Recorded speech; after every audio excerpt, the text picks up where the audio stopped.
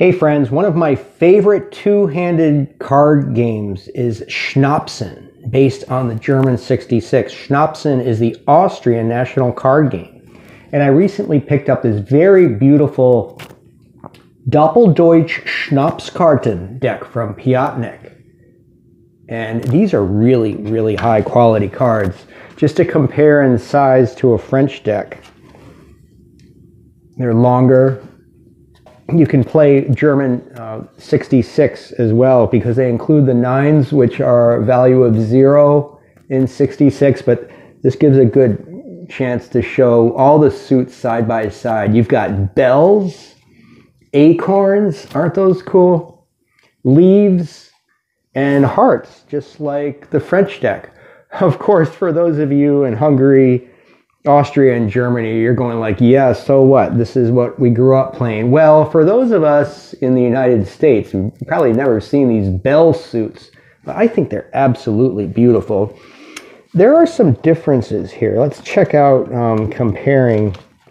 First of all, what's really neat is that the women um, are the represent the highest card value, which or ace, um, they're called deuces in this deck, and they're really beautiful. You've got summer, the seasons, winter.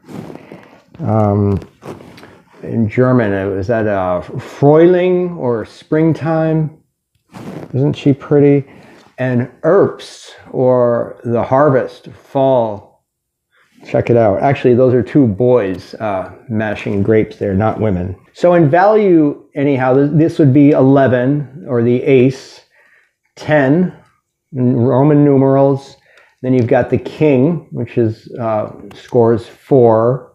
And the um, Ober and Unter knaves in these in this deck correspond to the queen and jack of the French deck for values of 3 and 2 respectively. And they're all just by name. They don't say um, Ober or Unter on the card. So obviously there would be some uh, cultural transition there in, in getting used to these cards.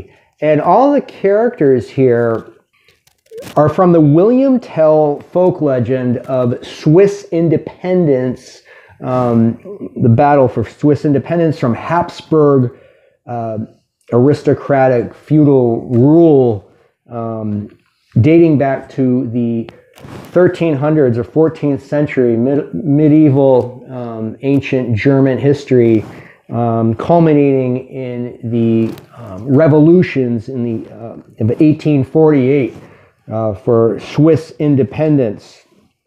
And William Tell is actually, um, he's an acorn over here. So here's the main character, William Tell.